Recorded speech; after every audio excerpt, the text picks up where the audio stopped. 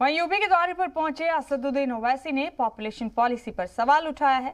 एक रिपोर्ट का हवाला देते हुए उन्होंने कहा कि सरकार अगर इस आबादी का सही इस्तेमाल करे तो आने वाले कुछ सालों में भारत चीन से आगे निकलते हुए दुनिया की बड़ी ताकत बन सकता है।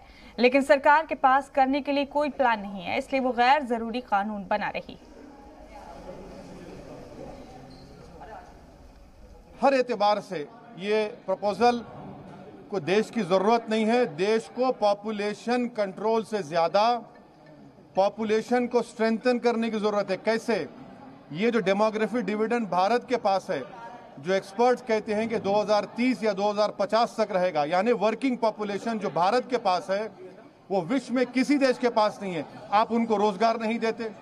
अगर उस डेमोग्राफिक डिविडेंड को मोदी और योगी इस्तेमाल करेंगे तो भारत चीन से ज़्यादा ताकतवर बनेगा।